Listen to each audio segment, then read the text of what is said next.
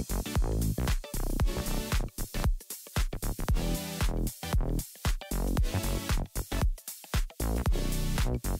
you.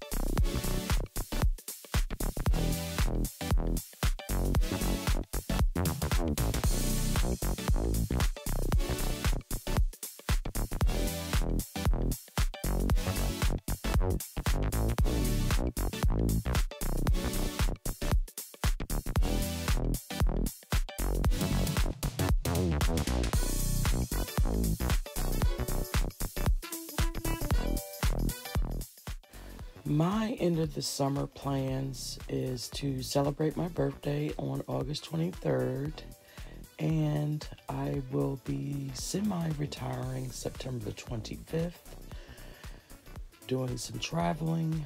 Hopefully, I can get up to New Jersey, but mainly I will be in my backyard in my hot tub and just trying to clean out my storages and um, just relaxing.